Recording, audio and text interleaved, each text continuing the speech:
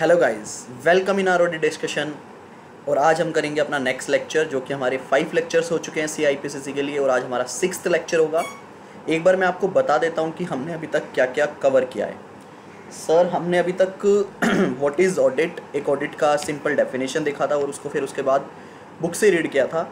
Flow of audit देखा था हमने कि ऑडिट कैसे स्टार्ट होता है। सबसे पहले हम क्लाइंट का रिस्क असेसमेंट करते हैं कि whether we can accept this audit और नॉट उसके बाद हम ऑडिट को प्लान करते हैं, एक एग्रीमेंट बनाते हैं क्लाइंट और हमारे बीच में। उसके अंदर सारी टर्म्स एंड कंडीशन लिखी जाती है। उसके बाद जिसको टर्म्स ऑफ़ एंगेजमेंट लेटर भी बोलते हैं, जो कि standard on auditing two hundred है, जो कि मैं आज आपको करवाऊँगा। उसके बाद ऑडिट को प्लान करते हैं, फिर उसके ऑडिट को एग्जीक्यूशन स्टेज पे जाता है प्लानिंग एग्जीक्यूशन रिपोर्टिंग तो कुछ बेसिक बातें हमने डिस्कस की थी।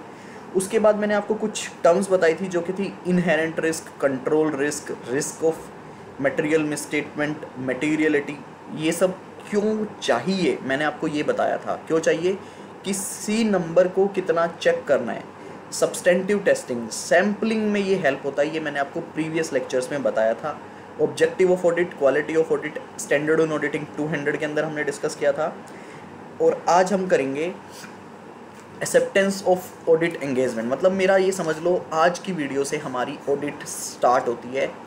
आपने क्लाइंट का रिस्क असेसमेंट कर लिया है, अब आपको ये पता चल गया है कि हाँ हम इस क्लाइंट का ऑडिट करने वाले हैं। अब आपको एक एग्रीमेंट बनाना है, जिस एग्रीमेंट के अंदर आप टर्म्स एंड कंडीशन लिखोगे और क्लाइंट उसको साइन करेगा ताकि आपका एक लीगल एग्रीमेंट बन जाए काम करने का ऑडिट करने का।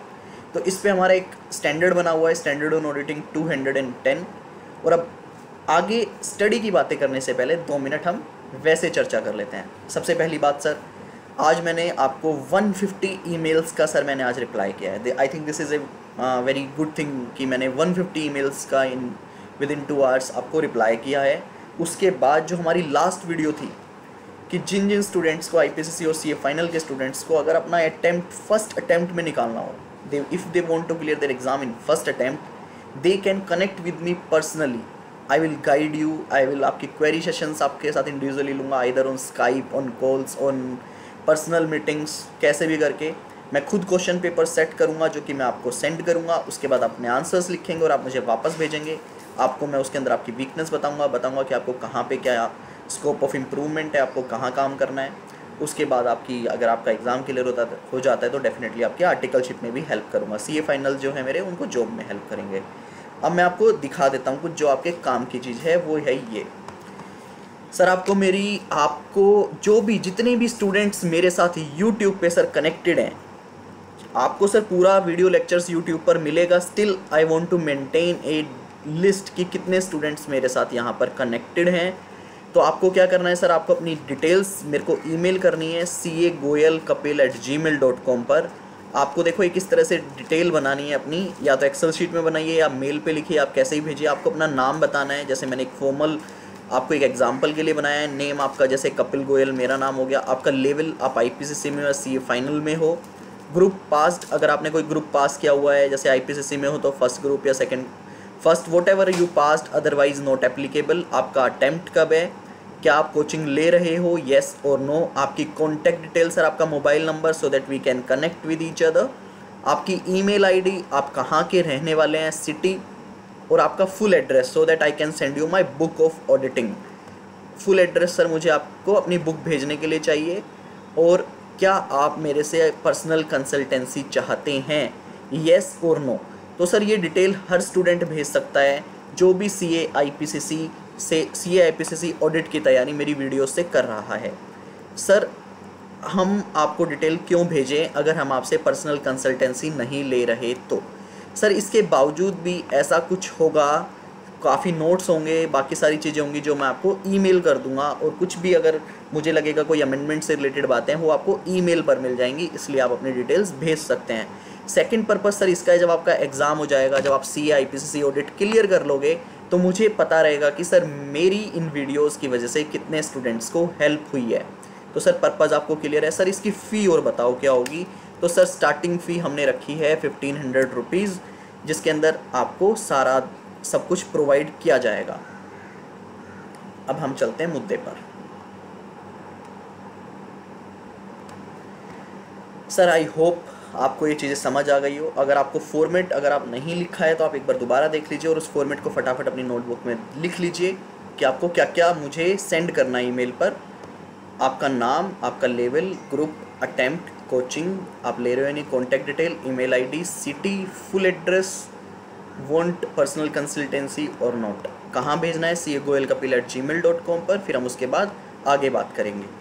आज का हमारा टॉपिक है सर आज का हमारा जो टॉपिक होगा, वो होगा कि अब हमें क्लाइंट का एक एग्रीमेंट बनाना है। हमें हमारा ऑडिट स्टार्ट करना है, लेकिन उससे पहले हम एक एग्रीमेंट बनाएँगे कि भैया ऑडिट एंगेजमेंट लेटर बनाना है कि आपने क्लाइंट ने हमारे साथ काम करना है, हमने क्लाइंट का ऑडिट करना है तो उसके लिए हमें क्या करना है?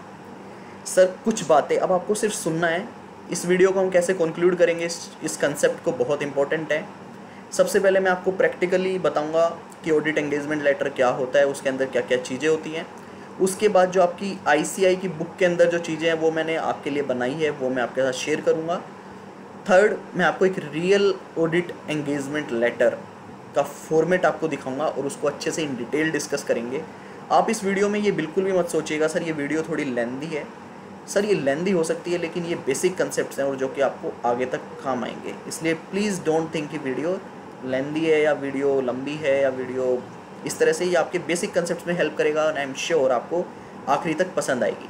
चलिए, सर, अब मैं स्टार्ट करता हूँ। Standard on auditing S A two hundred and ten audit engagement letter sir ये ऑडिट एंगेजमेंट लेटर क्या होता है? सर जब भी हमें किसी नए क्लाइंट का ऑडिट हमें मिलता है तो एक चार्टर्ड अकाउंटेंट को, एक सी ए फर्म को एक एंगेजमेंट लेटर बनाना पड़ता है। उसके अंदर वो सारी टर्म्स एंड कंडीशन लिखती है और फिर उसके बाद वो क्लाइंट उसे साइन करता है। सर किस तरह की टर्म्स एंड कंडीशन होती है? सबसे पहले वो लिखता है, मैं आपको एक सिर्फ़ सैंपल बता रहा हूँ।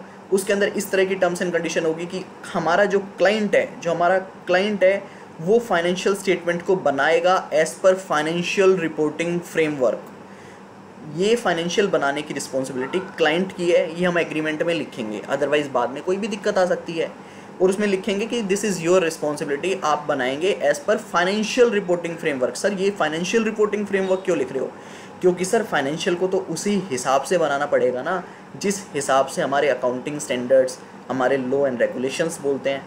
तो हम कहते हैं कि भैया आपकी अकाउंटिंग होनी चाहिए as per accounting standard as per all the law and regulations तो ये एक पहली कंडीशन हो गई।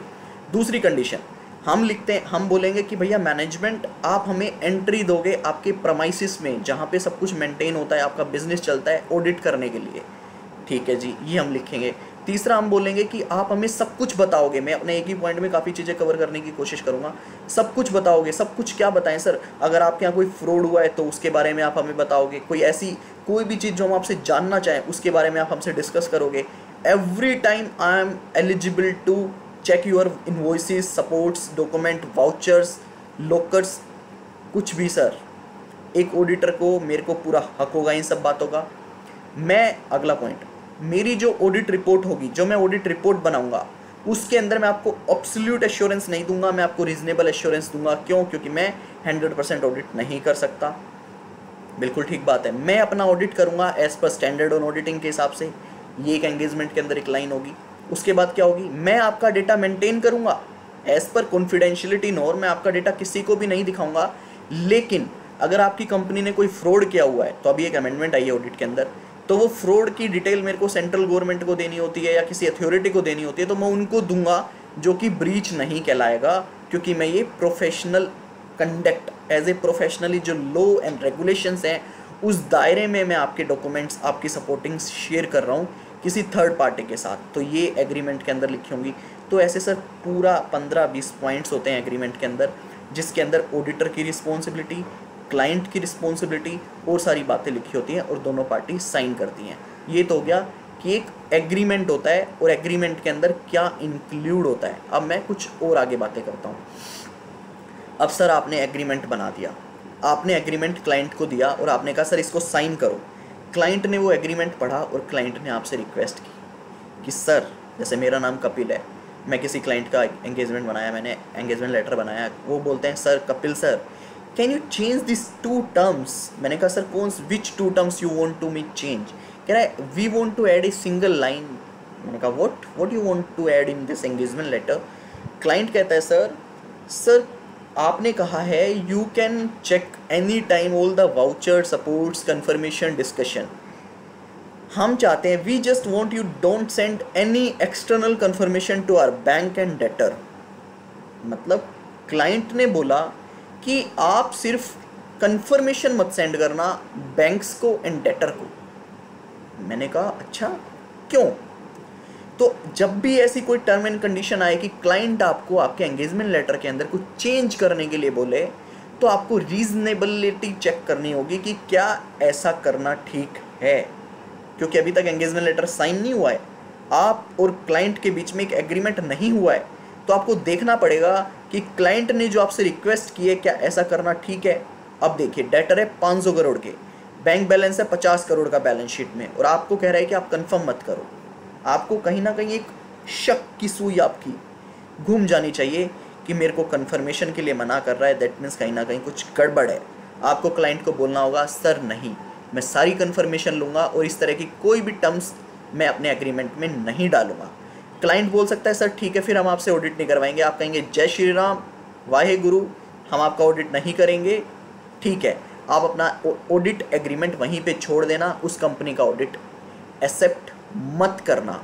समझ में आई मेरी बात? अगर आपको कोई ऐसी टर्म्स एंड कंडीशन चेंज करने के लिए बोले, जिसकी वजह से आपकी ऑडिट ओपिनियन पे फ़र्क आ सकता है। देखिए, कितनी लेमन लैंग्वेज में आपसे बातें कर रहा हूँ। ऑडिट ओपिनियन पे अगर आपको फ़र्क आ सकता है तो आप उस ऑडिट को एक्सेप्ट नहीं करेंगे। पहला पॉइंट आपको समझ आया। ठीक है जी। अभी तक सिचुएशन थी कि आपका एंगेजमेंट लेटर साइन नहीं हुआ है।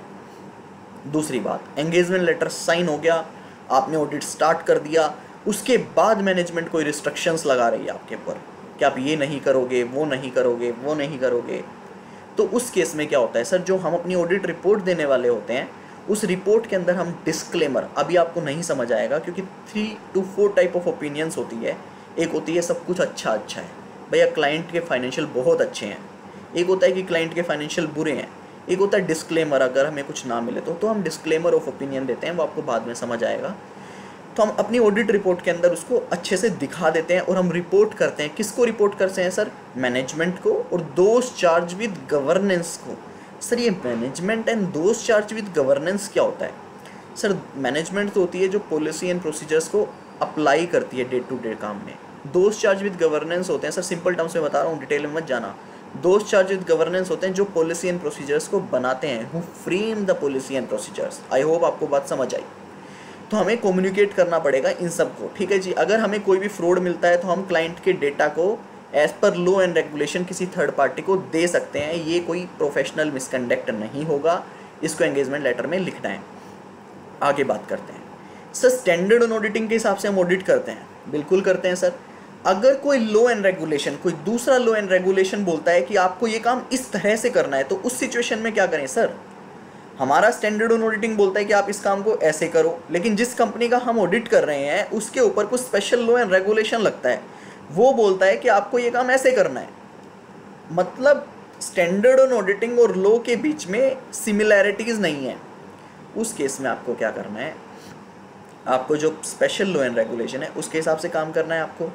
आपको अपनी ऑडिट रिपोर्ट के अंदर चेंज कर देना है कि हमने ये ऑडिट इस हिसाब से किया है, क्योंकि we have a special law and regulation for this type of industries और कंपनीज़ और वहाँ पे आपको अपनी ऑडिट रिपोर्ट के अंदर एक लाइन चेंज कर देनी है। वो लाइन क्या चेंज करनी है सर हम ऑडिट रिपोर्ट के अंदर लिखते हैं कि हमने हमारा ऑडिट स्टैंडर्ड ऑन ऑडिटिंग के हिसाब से किया है और इसके इन इन सब चीज़ों के हिसाब से किया है। वहाँ पे हम चेंज कर देंगे। We are conducted our audit accordance these these law and we are not followed our standard on auditing बात समझ आई? अभी तो सर हमें कुछ याद ही नहीं हो रहा। आप बस बोलते जा रहे हो। आपको समझ आ रहा है सर? कोई ऐसी चीज़ जो आपको ना अभी मैं आपको याद करने के लिए भी नहीं बोल रहा हूँ और याद करना भी मत। सर, अभी हम रीड करेंगे, आगे जाएँगे। We have lots of things in this तो अगर आपको याद नहीं हो रहा है, आप रिमेंबर नहीं कर पा रहे, कोई दिक्कत नहीं है, लिखना भी मत। आप सिर्फ़ सुनो कि आपको समझ आ रहा है क्या। तो अगर कुछ भी लो एंड इसके बीच में डिफरेंट होता है तो हमारी ऑडिट रिपोर्ट के अंदर चेंज कर देंगे। Last and final point discussion का। हमारी ऑडिट रिपोर्ट का एक फॉर्मेट बना हुआ है। ऑडिट रिपोर्ट का एक फॉर्मेट बना हुआ है। अगर कोई लो बोलता है कि, भैया, आपको अपनी ऑडिट रिपोर्ट इस हिसाब से बनानी है तो ठीक है, हम बना देंगे और इसी तरह से हम लाइन चेंज कर देंगे। कि हमने हमारी ऑडिट रिपोर्ट इस हिसाब से बनाया है स्टैंडर्ड ऑन ऑडिटिंग को फॉलो नहीं किया है। तो सर, मैंने जो अभी तक आपको ये इंट्रैक्शन इसमें जो आपको बताई, कुछ बेसिक बातें बताई हैं। अब मैं आपको अपनी स्क्रीन पे लेके चलता हूँ, जहाँ की, जहाँ पर आपका पूरा आईसीआई का जो भी क्रक्स है, वो मैं आपको दिखाऊँगा। Then will move to a real engagement letter तो चलिए सर स्क्रीन पे मैं आपको लेकर चलता हूँ। लीजिए। तो सर एस से टू हंड्रेड एंड टेन बोलता है agree agreeing the terms of audit engagement आप एग्री होना है किस किस को मैनेजमेंट को और ऑडिटर को ऑडिट एंगेजमेंट पर. सो so, सबसे पहले सर क्या होता है? ये देखिए सर कुछ प्री कंडीशन होती है ऑडिट की. सर ये प्री कंडीशंस क्या होती हैं? सर प्री कंडीशंस होती हैं कि फाइनेंशियल स्टेटमेंट मैनेजमेंट बनाएगी मैनेजमेंट हमें हर रिकॉर्ड को चेक करने देगी तो पढ़ते हैं. तो pre condition for an audit ये हमेशा सेटिस्फाई होनी चाहिए एग्री करने से पहले. Whether management use acceptable financial reporting framework क्या मैनेजमेंट फाइनेंशियल रिपोर्टिंग फ्रेमवर्क को फॉलो करती है? फाइनेंशियल रिपोर्टिंग फ्रेमवर्क का accounting standard revise schedule six जिसके हिसाब से आपके फाइनेंशियल बनने चाहिए। Acknowledgement by management of its responsibility management की रिस्पॉन्सिबिलिटी होगी क्या? पहला तो वही सेम पॉइंट है। Financial statement as per financial reporting framework internal control so that financial statement should be free from fraud and error इसका मतलब क्या है सर इंटरनल कंट्रोल इसका मतलब होता है कि जो फाइनेंशियल स्टेटमेंट बनते हैं ना, उसके ऊपर फाइनेंशियल इंटरनल कंट्रोल होने चाहिए। जैसे कि अगर कोई भी नया बंदा ज्वाइन करता है तो उसके ज्वाइनिंग लेटर को सीईओ साइन e करेंगे। तो ये एक कंट्रोल हो गया मेरे किसी फाइनेंशियल स्टेटमेंट के ऊपर। फाइनेंशियल स्टेटमेंट के किसी टर्म्स के ऊपर। तो ये मैनेजमेंट की रिस्पॉन्सिबिलिटी होगी उन सबको मेंटेन करना फॉलो करना। दे दे प्रोवाइड यहाँ पे प्रोवाइड नहीं आ रहा सर प्रोवाइड आएगा। They provide auditor with all the access to information हमें सब देंगे। एडिशनल इन्फॉर्मेशन जो भी हमें चाहिए unrestricted access to person if necessary हमारे जितने भी ऑडिटर जो भी हमारी टीम के बंदे होंगे, उनको अनरिस्ट्रिक्टेड एक्सेस देंगे। ये नहीं कहेंगे, आप ये देख लो, वो देख लो, ये मत देखो। हम जो मन करेगा, वो करेंगे। तो these are pre conditions basic तीन चार जो चीज़ें होती हैं, जो ऑडिट करने के लिए बहुत ज़रूरी है। These are my pre conditions audit engagement terms क्या टर्म्स होती हैं सर हमारे लेटर के अंदर? Objective of audit what is our objective हम ओपिनियन देते हैं ऑन वोट फाइनेंशियल स्टेटमेंट पे कैसा रीजनेबल एश्योरेंस का whether financial statement are true and fair view और not this is my objective scope of audit आप बस इसी के अंदर मैंने पहले भी कवर कर दिया। स्कोप क्या होगा कि हम स्टैचुरी ऑडिट कर रहे हैं फाइनेंशियल पे सिर्फ़ ओपिनियन देंगे, हम फ्यूचर के ऊपर कोई ओपिनियन नहीं देंगे।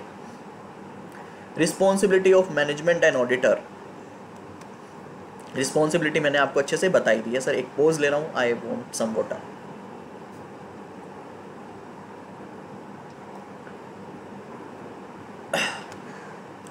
responsibility of management and auditor ये मैंने आपको वर्बली बताया था। Identification of financial reporting framework ये भी मैनेजमेंट की रिस्पॉन्सिबिलिटी है कि आपके फाइनेंशियल किस फ्रेमवर्क के हिसाब से बनेंगे। सर एग्ज़ाम्पल दे सकते हो? बिल्कुल दे सकते हैं। इंश्योरेंस कंपनी के फाइनेंशियल अलग हिसाब से बनते हैं इलेक्ट्रिसिटी के अलग से बनते हैं। तो आपने पढ़ा है ना ये सी सेकेंड ग्रुप में अकाउंट्स में? तो this type of financial reporting framework reference to expected form and content of report to be issue by the auditor हम बताएँगे कि भैया जो हमारा फॉर्म होगा कंटेंट होगा ऑडिट रिपोर्ट का वही होगा। Law and regulation prescribe terms then no need for the separate return return agreement except that management acknowledge the same अगर कोई भी लो एंड रेगुलेशन बोलता है कि आपको ये कवर करना है, वो कवर करना है, ठीक है भैया। बहुत से लोग बहुत सी चीज़ें बोलती हैं, हमें हर चीज़ पे एग्रीमेंट में लिखने की ज़रूरत नहीं है।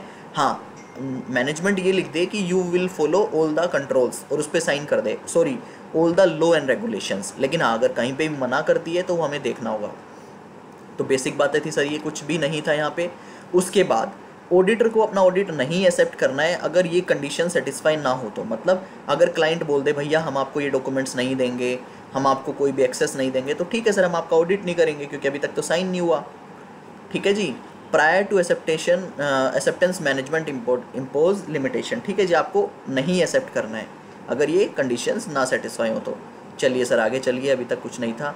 रेकरिंग ऑडिट सर, अभी मैंने आपको बात बताई, ऐसे ऑडिट की जो नया ऑडिट आने वाला है। अब एक ऐसे ऑडिट की बात करते हैं जो पिछले साल भी हमने किया था, और अब आने वाले सालों में भी हम ही करने वाले हैं। तो before completing audit if the client request the auditor to change the terms that convey lower assurance ये मैं आपको समझा देता हूँ थोड़ा सा। सर अगर आप रेकरिंग ऑडिट कर रहे हो मतलब पिछले साल भी ऑडिट आपने किया था और इस साल भी। अब आपको क्लाइंट बोलता है कि ये चेंज कर दो, वो चेंज कर दो। तो आप देखो कि क्लाइंट जो बोल रहा है वो ठीक है, क्या नॉर्मल है तो कर दो। अदरवाइज़ मत करना। तो वही बोल रहा है कि अगर क्लाइंट आपको रिक्वेस्ट करता है किसी चीज़ के लिए और आपको वो उस चीज़ से लोअर एश्योरेंस मिल रही है। तो आप देखो कि जस्टिफिकेशन क्या है? चेंज करने का रीजनेबल है या नहीं है? अगर है तो आप एग्री कर लो। अगर नहीं है तो if management does not permit original engagement then withdraw from the engagement communicate to those charge with governance and members ये बात मैंने आपको बता दी थी। आगे चलते हैं, सर। एडिशनल कंसिडरेशन के अंदर क्या आता है? कि आपको सारे financial reporting standard are in conflict with law अगर लॉ के साथ अलग है, जैसे मैंने आपको बताया था लॉ और ऐसे अलग अलग बात कर रहा है। तो मैनेजमेंट से डिस्कस करो। और अगर if additional disclosure in financial statement और amendment to standard if possible है तो कर दो। अदरवाइज़ अपनी रिपोर्ट के अंदर चेंज कर दो। ठीक है जी? और एक और पॉइंट था सर वो यहाँ पे कवर्ड नहीं है, वो मैं आपको हाँ मैं आपको बता चुका हूँ कि अगर आपका एस आपका ऑडिट रिपोर्ट का फॉर्मेट अलग है और कोई लॉ आपको दूसरा फॉर्मेट फॉलो करने के लिए बोल रहा है, तब उसमें लिख दीजिएगा कि हमने एस का फॉर्मेट फॉलो नहीं किया। अब मैं आपको दिखाता हूँ एक रियल ऑडिट एंगेजमेंट लेटर चलिए सर वो भी देख लेते हैं। क्योंकि बहुत ज़रूरी है सर चीज़ों को अच्छे से समझने के लिए। This is my illustration of engagement letter ये देखो, एक ऑडिटर ने बनाया और लिखा बोर्ड मेंबर्स को भेजा। अब आप देखना, इससे आपके सारे कंसेप्ट क्लियर होंगे। बोर्ड को लिखा सर एड्रेस लिखा। क्या लिखा? कि वी ऑडिट दिस फाइनेंशियल मैं आपको पूरा रीड नहीं कर रहा हूँ, इसलिए मैंने पहले मेहनत कर ली है। We audit the financial statement of the company period beginning April to March ठीक है जी? उसके बाद our audit will be conducted with the objective हमारा ऑब्जेक्टिव क्या होगा? और एक्सप्रेशन एंड ओपिनियन एक ओपिनियन देंगे हम, ठीक है जी? ऑन द फाइनेंशियल स्टेटमेंट उसके बाद क्या बोल रहा है? किस पे ओपिनियन देंगे? ट्रू एंड फेयर व्यू पे. In conformity with the principle accounting principle generally accepted in India और बोल रहा है कि adequate internal financial control system over financial reporting आपको फॉलो करना है. आईको फर्म में मतलब क्लाइंट की रिस्पॉन्सिबिलिटी है. We will conduct our audit as per standard on auditing issue by I C A I will comply with all the ethical requirement we will plan and perform our audit and to obtain reasonable assurance about whether the financial statement are free from material misstatement जो चीज़ें हमने पहले की है। Then we वो बोल रहे हैं an audit involve performing procedure to obtain audit evidence तो सर ये सारी बातें हम डिस्कस कर चुके हैं। तो इस आ, सर पूरा करवा दो प्लीज़ ऐसे जल्दी जल्दी मत करवाओ। ठीक है तो मैं करवा देता हूँ आपको दोबारा से। मुझे लगा मैं जल्दी जा रहा हूँ। सबसे पहले ऑडिटर अपनी रिस्पॉन्सिबिलिटी बता रहा है we will conduct audit in accordance with standard on auditing issue by the I C A I and deem to be prescribe by the central government blah blah blah we will comply with all the ethical requirement about whether the financial statement are free from material में An audit involve performing procedure to obtain audit evidence about the amount to be disclosed in the financial statement. The procedure selected depends on the audit auditor judgment, including the assessment of the risk of material misstatement of the financial statement अब मैं sir आपको वैसे बताता हूँ। अगला para. Auditor अपनी responsibility बता रहा है। कह रहा है कि हम इवेल्यूएट करेंगे अकाउंटिंग पॉलिसीज़ को। बिल्कुल करेंगे सर। हम आपको एब्सोल्यूट एश्योरेंस नहीं दे सकते due to inherent limitation of audit मैंने आपको बता दिया था। और वो कह रहा है कि our audit will be conducted on the basis that management and those charge with governance acknowledge and understand they have the responsibility अब यहाँ पे मैनेजमेंट की रिस्पॉन्सिबिलिटी की बातें करेगा। ऊपर उसने खुद की बता दी कि हम क्या क्या करेंगे। Now we will explain management responsibility कह रहा है you will prepare the financial statement that will give a true and fair view as per the standard on auditing you will comply with the all the accounting provision of 223 uh, companies act 23 you will properly maintain of accounts and other matters connected with uh, connected therewith you will prepare your financial with on the basis of going concern you will follow all the accounting standard you will follow all the your selection of accounting policy and applying them consistently these things we also study in accounts you will properly take care of adequate accounting records so these are the management responsibility कि आपको internal control को follow करना है you you will inform us you will inform us management को बोल रहा है you will inform us all the pending litigations all the foreseeable losses कोई भी ऐसा अमाउंट जिसको ट्रांसफ़र करना है इन्वेस्टर एजुकेशन प्रोटेक्शन फंड में, कोई भी फ्रॉड अगर कोई भी डायरेक्टर का डिस्कालिफिकेशन हो रहा है यू विल इन्फॉर्म अस तो मतलब सब कुछ मैनेजमेंट को बोल रहा है कि दीज आर योर रिस्पॉन्सिबिलिटी हम अब बता रहा है कि हमारे कुछ राइट्स हैं। You will provide me what access at all the times हर जगह मैं कुछ भी चेक कर सकूँ। Access to records for all the subsidiaries के अकाउंट्स पर एसेस टू रिपोर्ट्स तो जो हमने थ्योरी में पढ़ा था वही है। हमें आप एडिशनल इन्फॉर्मेशन प्रोवाइड करोगे, जो भी हम रिक्वेस्ट करेंगे मैनेजमेंट से तो these are the rights of auditor unrestricted access all the required supports to discharge my duty ठीक है जी? तो कह रहे हैं मेरी रिपोर्ट जो होगी as per provision of twenty thirteen act तो these are the basic things which they covered in the engagement letter then sign name of the member designation name from date place तो sir, इस तरह से ये engagement letter बनता है, जिसके अंदर ये टर्म्स एंड कंडीशंस कवर होती हैं। तो एक बार क्विक रिवाइज करते हैं, अब आपको माइंड में कुछ चीज़ें बैठेंगी। एंगेजमेंट के अंदर प्री कंडीशंस क्या होती है? मैनेजमेंट की रिस्पॉन्सिबिलिटीज़ कि management books of accounts prepare करेगी मैनेजमेंट मेरे को, मैं जो भी मांगूँगा वो सब देगी राइट एंड एक्सेस देगी, सब कुछ। All the responsibility of management second responsibility of auditor कि मैं अपनी ऑडिट रिपोर्ट बनाऊँगा स्टैंडर्ड ऑडिटिंग को फॉलो करूँगा, सारे लॉ एंड रेगुलेशंस को फॉलो करूँगा, आपके एविडेंसेस को मैं किसी थर्ड पार्टी को तभी दूँगा जब लॉ एंड रेगुलेशन कहेगा। थर्ड ऑडिटर के राइट्स जो हमने नीचे डिस्कस किए थे, और फिर उसका ऑडिट रिपोर्ट का पैराग्राफ देन साइन तो this is my standard on auditing two hundred and ten आपको कैसी लगी वीडियो प्लीज़ कमेंट में बताएँ। हम हम आगे चलेंगे। और जिन जिन स्टूडेंट्स को मैंने डिटेल देने के लिए बोला है प्लीज़ अपनी डिटेल्स दीजिए so that you will get a better result तो मैं आपको दोबारा से दिखा देता हूँ कि आपको डिटेल्स किस फॉर्मेट में देनी है। नेम आपको देना है, आपका level group attempt coaching contact detail email ID city full address whether you want personal consultancy और नॉट और आपको सेंड करना है C A Goyal Kapil at gmail dot com पर। ओके सर आई होप आपको वीडियो पसंद आई हो। कमेंट करना ना भूलें और अगर आपने चैनल को सब्सक्राइब नहीं किया है तो वो भी कर लीजिए sir. Bye bye take care.